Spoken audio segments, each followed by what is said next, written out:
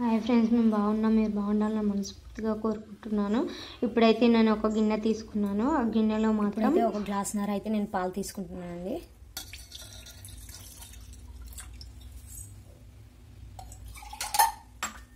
ఈ గ్లాస్తో గ్లాస్న్నర పాలు అయితే తీసుకున్నానండి నేను. ఇప్పుడు దీంట్లో షుగరు వేసుకోవాలి.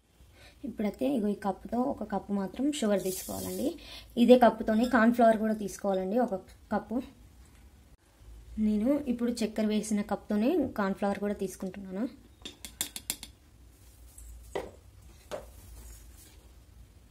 ఫస్ట్ అయితే కార్న్ఫ్లవర్ చక్కెర కలిపి కలిసే విధంగా కలుపుకోవాలండి.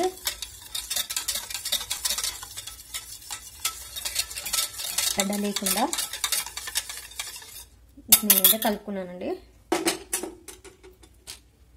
ఇప్పుడైతే స్టవ్ వెలిగించి మనం ఇప్పుడు కలిపి పెట్టుకున్నాం కదా పాలు. అదైతే పెట్టుకోవాలండి. ఉండలు కట్టకుండా కలుపుకోవాలండి కొద్దిసేపు.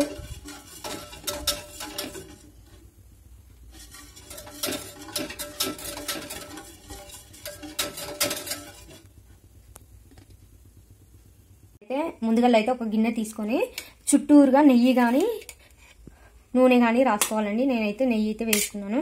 చుట్టూరుగా అయితే రాసుకుంటున్నానండి.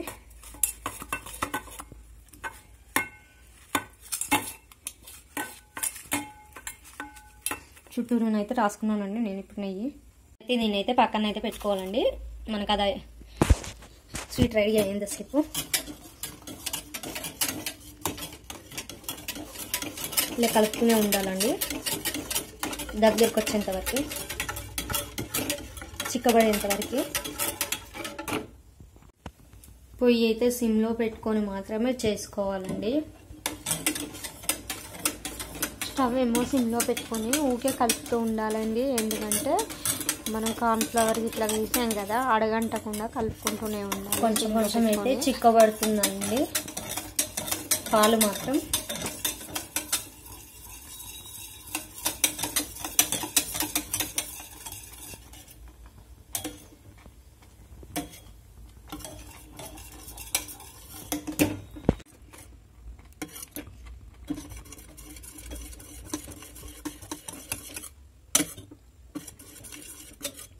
ఇప్పుడైతే అయిపోయిందండి. స్వీట్ ఉడంగి స్వీట్ ఇదైతే చల్లారినాక ఇప్పుడు మనము ఒక గిన్నెకి నెయ్యి పెట్టుకొని పక్కన పెట్టుకున్నాం కదా ఇది చల్లారినాక దాంట్లో వేసుకోవాలండి. వేసుకొని ఒక రెండు మూడు గంటలు ఫ్రిడ్జ్లో పెట్టుకోవాలండి. పెట్టుకున్న తర్వాత ఉడంగి స్వీట్ అయితే మనకు రెడీ అయిపోతుందండి. ఇప్పుడైతే ఇది ఆఫ్ చేసుకోవాలండి. అయిపోయింది. స్టవ్ అయితే ఆఫ్ చేసుకోవాలండి ఇప్పుడు.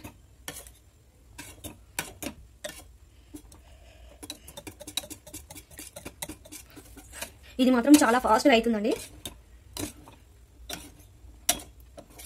స్టవ్ అయితే ఆఫ్ చేసుకుంటున్నానండి నేను. అయితే ఇప్పుడు స్టవ్ ఆఫ్ చేసుకొని పక్కన అయితే పెట్టుకున్నానండి. ఇది చల్లారిన తర్వాత గిన్నెలో వేసుకోవాలి అయితే చల్లారింది నేనైతే గియ్య నెయ్యి రాసుకున్న గిన్నెలో మాత్రం వేసేసుకున్నాను. ఇప్పుడైతే ఇదైతే ఫ్రిడ్జ్లో పెట్టేసుకోవాలండి. నేనైతే ఫ్రిడ్జ్లో పెట్టుకుంటున్నా. ఒక రెండు మూడు గంటలు పెట్టుకోవాలండి ఫ్రిడ్జ్లో మనకు అయిపోతుంది అప్పుడు పుడంగి స్వీట్ నేనైతే ముందుగల్లా అయితే బాదం పప్పు అయితే చిన్న చిన్న ముక్కలుగా కట్ చేసి పెట్టుకున్నానండి. ఆ స్వీట్ పైన వేయడానికి చల్లారినాక ఇప్పుడైతే దీనిపైన వేసుకుంటున్నాను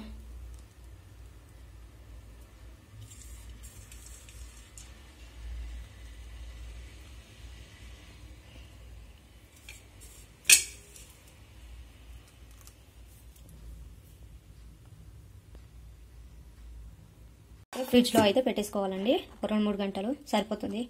సైడ్స్కి అయితే మొత్తం ఇలా చేసుకోవాలండి మొత్తము.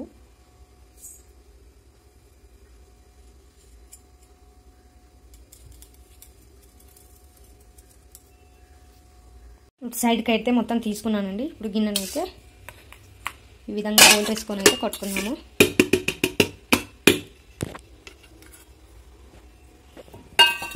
స్పంజీ స్పంజీగా మిల్క్ పుడంగి. స్వీట్ అండి.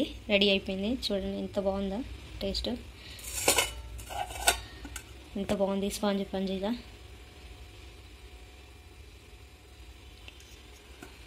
నేనైతే ఇప్పుడైతే కట్ చేసుకుంటానండి. చిన్న చిన్న ముక్కలు.